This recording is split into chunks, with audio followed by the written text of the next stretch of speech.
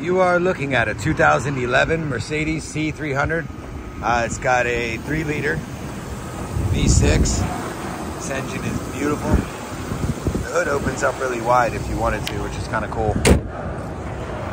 I mean, this looks like, like a new car, honestly. Whoever had this loved it. I mean, there's a couple little things I could pick on, but not many.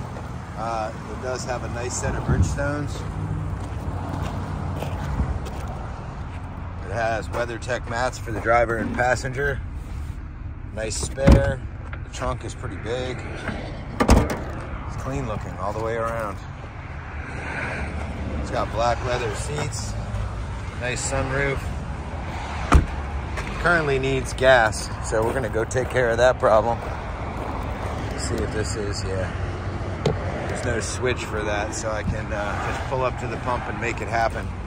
But it runs quietly. The air conditioning is cold. I'm gonna turn it down a little bit. The only message on the dashboard is telling me that the fuel level is low and the tire pressure sensor light's on, but that's pretty common in a vehicle that's, you know, uh, 15 years old, 14 years old. let's take this for a spin. Radio works well. Uh, let's see, that works well. I'll open that up and then close it.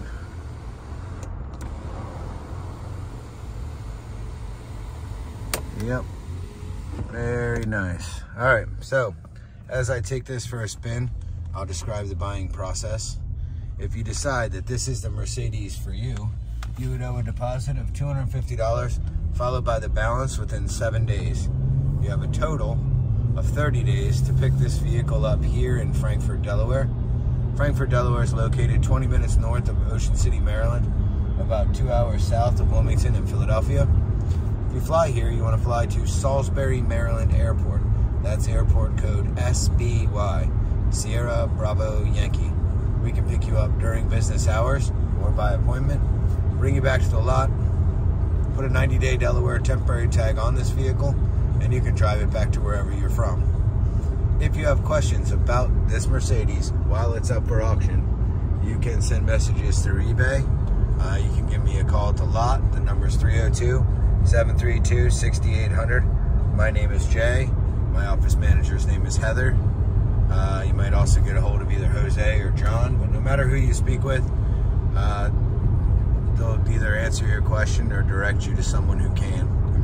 Um, this couldn't be nicer of a car. We already have it listed at a steal of a price, so I won't be accepting lowball offers of any kind. Uh, if you have other questions, please feel free to ask. Otherwise, I wish you good luck and happy bidding.